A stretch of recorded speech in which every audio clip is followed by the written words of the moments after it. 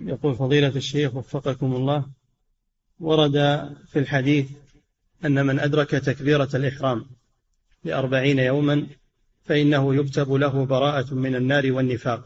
من؟ أن من أدرك تكبيرة الإحرام أربعين يوما فإنه يكتب له براءتان براءة من النار ومن النفاق. فهل يشمل في هذا الصلاة في المصلى عند مكان العمل أم هو خاص في الصلاة في المسجد؟ الصلاة مع الجماعة. مراد الصلاة مع الجماعة. يدرك تكبيرة الإحرام مع الإمام.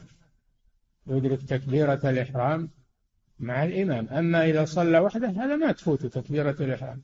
تكبيرة الإحرام بالنسبة له إذا كبر لكن التكبير مع الإمام هو اللي يفوت إذا تأخر. نعم. سواء صلوا جماعة في المسجد أو صلوا في مكان عملهم فتكبيرة الإمام تكبيرة الإحرام هي تكبيرة الإمام.